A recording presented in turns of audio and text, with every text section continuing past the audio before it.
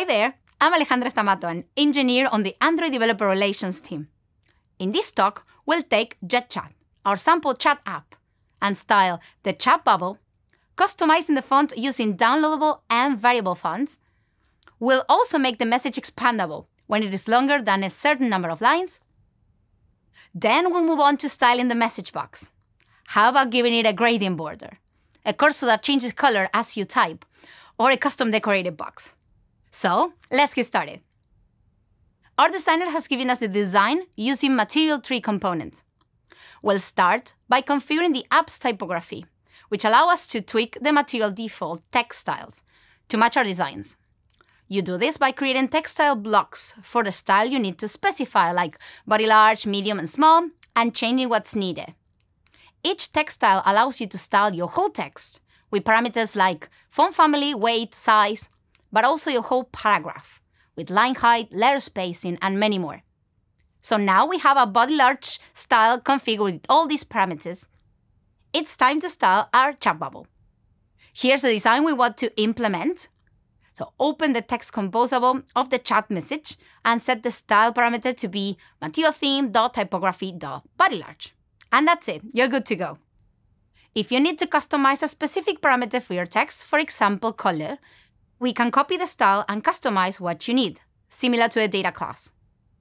Alternatively, the text composable exposes the most common styling attributes like color, font size, font family as parameters, so you can set them directly. Note that supplying a parameter directly will override it in the style. Next up, the send button. We implement this with a button and a text composable inside. When we run the app, we notice that without configuring any style, the text knows how to style itself as a button. In bold, white color, maybe even different letter spacing. So let's take a look to see how Material Button does this. One great thing about Compose is that you can navigate the source code and it's all very readable Kotlin code. Inside Button Composable, we'll find the code to provide text style, which creates a composition local, configuring local text to be label large. If we now take a look at the text composable, we'll see that style defaults to local text style.current, meaning it adopts the style configure in the current portion of the composition. In this case, label large from the button. Similarly, the default text color is provided by local content color, based upon the color of the button, so you automatically get light text on dark buttons and vice versa. This mechanism allows Material to style your material components for you across your app without you needing to be explicit if you don't need to. Now, let's customize the chat bubble further.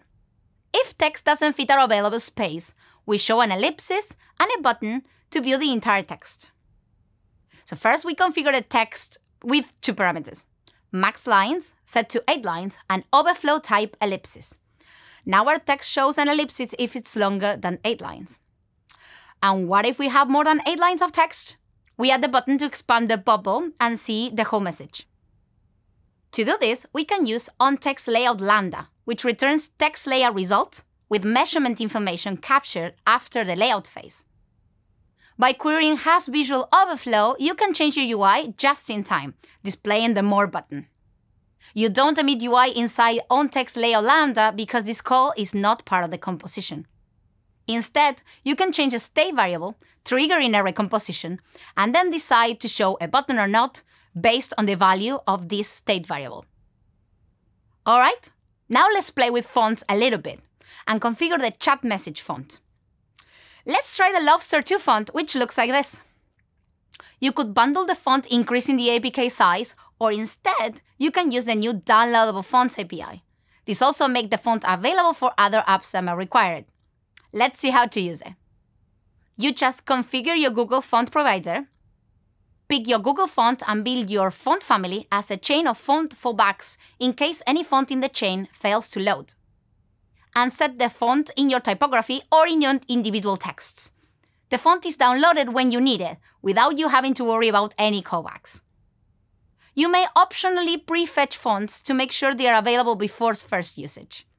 To do this, get the local font family resolver in composition and use the preload method asynchronously, which will suspend until the font family is fully preloaded or fails. If successful, the font is cached and ready to be used. Be mindful that fonts might take up to several seconds to time out. Check out the docs to learn more about Font Family Resolver API.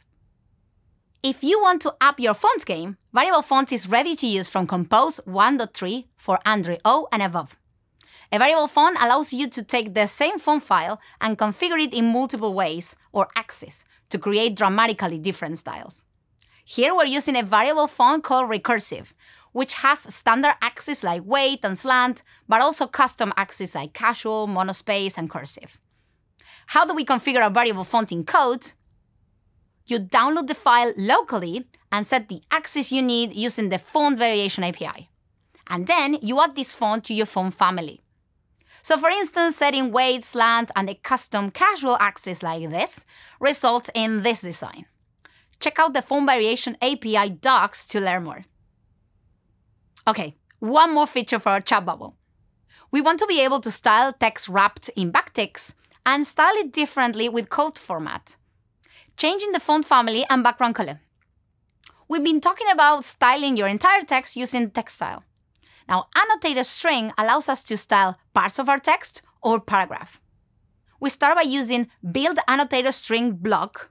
We create a span style with font family monospace and a new background color. We use the with style method to apply the style to the portion of the text we need to style. And finally, we append it to the final text. All right, now it's time to customize our message box. Text TextField allows for several styling options, including redefining all default colors. Here, we're setting the focused and unfocused indicator color for this text field to be green and orange. You can customize the colors of all text field components like cursor, content, label, icons, and selection colors, like selection handle color, and in all their states, focused, unfocused, disabled, and error modes.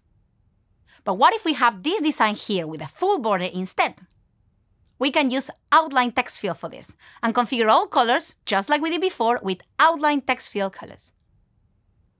If you're looking to customize the border of your box even further, the border modifier will help you. Here we're using a text field. We create a border stroke, which receives a brush. In our case, we'll use a gradient brush.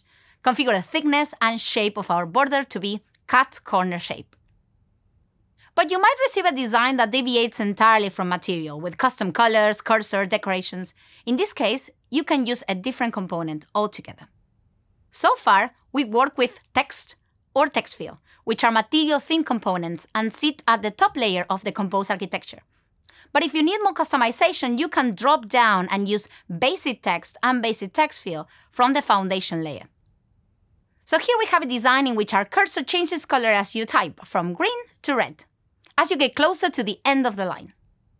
Basic text field has a cursor brush parameter that will allow you to style the cursor color with a brush API, and you can define a solid color, or in our case, we define a gradient. So as we approach the character limit, our cursor changes color. Lastly, what if we want to completely customize the display of our text field? Here, we're setting a custom background and leading icon we can use basic text field again and set a decoration box to achieve this. This allows us to add decorations around the text field, such as icons, dividers, placeholders, and so on. We create a row with modifiers like background to configure shape, color, and padding, add the Jetchat icon, and then add the input, which is placed next to it in the row. And we're done. We barely scratched the surface of what you can do with text in Compose. To learn more, go check out our docs and Jetchat's code on the following links. You can also check our text blog post on the new line height API, text field state management, and Brush API integration with text style and animations. That's it. I will close this talk with a fun joke, but to be honest, I'm not bold enough. Hope you learned something new, and stay tuned as there is lots coming up for text in Jetpack Compose. Thank you.